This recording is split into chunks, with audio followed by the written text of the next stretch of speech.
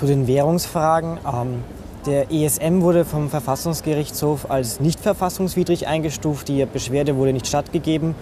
Ähm, war das eine Überraschung für Sie? Nein, die war nicht überraschend.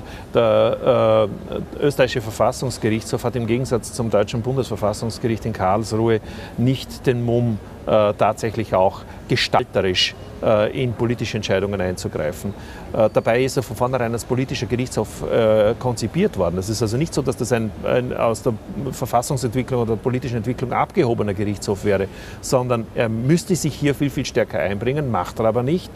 Äh, demgegenüber hat das deutsche äh, Bundesverfassungsgericht klar gesagt, dass der ESM eine demokratiepolitische, insbesondere verfassungsrechtliche Problematik darstellt, wenn abseits der Budgethoheit des Bundestages über hunderte Milliarden an Haftungen entschieden wird und hat dort eine Grenze eingezogen. Die sieht der österreichische Verfassungsgerichtshof leider nicht. Es überrascht mich nicht, aber es äh, macht es nur die, die, Sache nur bedauerlicher, dass der österreichische Verfassungsgerichtshof sich nicht stärker an der Judikatur des Bundesverfassungsgerichtes in, in Karlsruhe orientiert.